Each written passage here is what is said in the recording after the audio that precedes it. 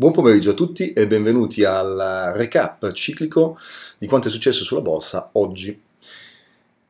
Prima faccio un piccolo excursus molto rapido, una piccola considerazione sulla differenza tra voler essere un giocatore e rimanere a fare eventualmente carta da parati o peggio. Vi ringrazio innanzitutto per il fatto che in pochissimo tempo, meno di un mese, eh, il canale sta crescendo tantissimo perché abbiamo superato le 380 persone che desiderano formarsi e comprendere come funziona l'analisi ciclica evoluta. E tanto, non mi aspettavo un riscontro di questo eh, tipo, sinceramente. Però è divertente anche ed è estremamente stimolante andare a vedere sotto le analisi postate e notare che c'è sempre un pollice verso una persona su più di 380 viene a perdere il suo tempo a mettere un pollice verso sotto tutte le analisi che faccio. Bene, mi fa piacere questa cosa perché per me è uno stimolo fantastico a proseguire nella divulgazione della ciclica evoluta, anche perché dimostra nei fatti che ci sono vari tipi di persone. Alcune semplicemente non hanno obiettivi così chiari nella vita oppure sono troppo interessate a dare fastidio piuttosto che imparare. Il mio suggerimento è, dato che siamo la risultanza delle 5 persone che frequentiamo di più, frequentate persone intelligenti. ok? Torniamo all'analisi. Allora, alla partenza siamo, siamo partiti qui alle 9.01 Cosa è successo?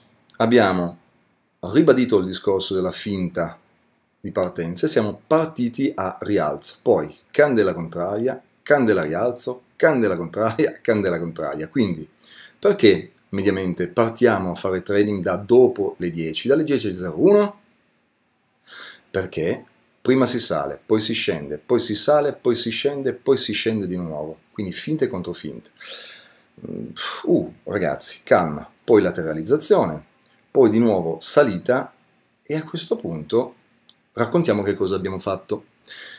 Come segnalato nell'analisi di questa mattina, dato che non c'è stata una violazione di questo minimo, c'è stata subito forza con spinta volumetrica rialzo, abbiamo fissato il nostro swing qua a 10.713 rispetto ai 10.698 che avevamo fatto e in violazione dello stesso, con volumi, siamo entrati e quindi disgraziatamente, tra virgolette, siamo entrati in violazione dei 713. Abbiamo fatto 7 tick in su, poi una candela che ci ha portato qualche altro tick in su e poi è partita la discesa. Ma, attenzione, interessante, dato che la ciclica evoluta non è come la vecchia ciclica perché per tutti i motivi che sapete, tante cose in più, volumi, divergenze, ehm, tutto ciò che significa flussi di denaro, inclusi, che non sono inclusi lì, GAN, tutto GAN, incluso nell'algoritmo proprietario che ho solo io, ok? Perfetto, il nostro stop era sotto questo swing inverso. Siamo andati in stop loss? No, Abbiamo però dovuto avere tanta pazienza per ritornare sopra lo swing da cui è partito il nostro trade, andare a fare nuovi massimi e eventualmente accontentarci di essersi avvicinati molto al target dato a 10.751,52 dato dall'algoritmo e qui siamo arrivati a 746, a 6 soli tick di distanza. Purtroppo ero con mia figlia, era durante il pranzo non ho visto candela rossa, candela verde, candela rossa.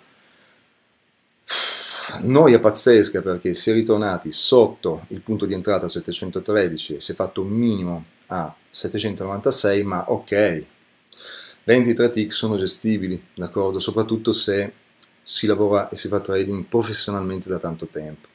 È una bazzecola. Era più fastidioso questo movimento. Siamo ritornati a salire, a quel punto arrivati sopra la media mobile a 50 periodi e essendo finalmente arrivati a target, perché abbiamo fatto 10.759 contro i 10.752 dati dall'algoritmo, quando ho iniziato a vedere rosso, quando ho pensato caspiterina, media mobile a 200 periodi, uscito gain. magari non tantissimo, ma da 713 a 700, scusate, da 713 sì a 743 sono comunque 30 tick, anzi in realtà sono uscito un pochino sopra quando c'è stata la violazione poi della media mobile.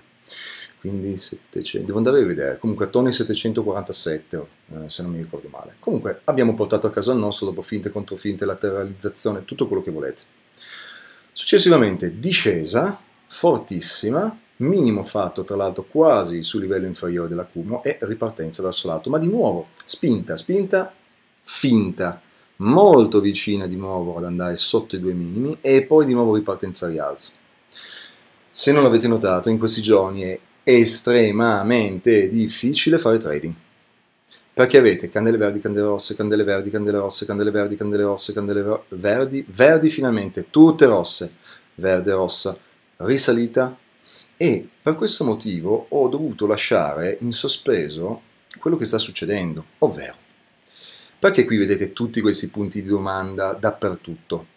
Perché qui possono esserci stati 3 T-3, avendo fatto 75 barre, quindi 24, 48, 72, ok? 3 cicli da 24 barre da 6 ore, oppure anche soltanto 2, ovvero due giornalieri, uno partito qui arrivato a 37 e due è arrivato qui che ha chiuso a 38. Quale delle due centrature scegliete e perché? Io per ora sceglierei questa, per determinati motivi relativi all'inverso, ok? Però mi lascio comunque le altre aperte e quindi lascio i punti di domanda. Stessa identica cosa per l'inverso, da qui a qui non ci sono problemi, ma qui abbiamo chiuso su questo massimo che per me, a me non piace per niente, oppure abbiamo chiuso su quest'altro massimo a 34 barre, contro invece qui le 23 barre. O cosa, perché dove mi piacerebbe di più che partisse, e potrebbe ancora partire, in questo momento non torna come questo quinto T-3 da 26 barre. Ovvero, se per ora faccio partire da questo massimo e arrivo fino a qua, ne ho 16 di barre. E quindi è vero che adesso vedo a monitor che dopo una forte discesa stiamo di nuovo ritornando su e facendo finte in continuazione, ok? Eh, però non è scontato. Per cui questo è fare trading in questo periodo. Ma di nuovo, Cosa vi avevo detto anche questa mattina ieri sera? Privilegiate il pro-trend.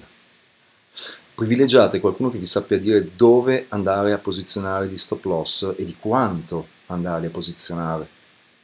In questo caso, se lo ascolterete fino alla fine, se farete esattamente quello che fa lui o lei,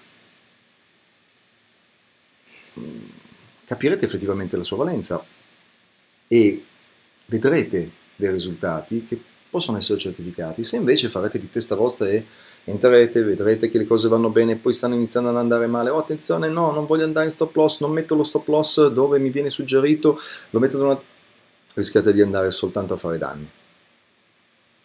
Se avete scelto di affidarvi a qualcuno, affidatevi ad occhi chiusi. So che non è facile, ma caspita, se vado anche soltanto a farvi vedere determinate cose,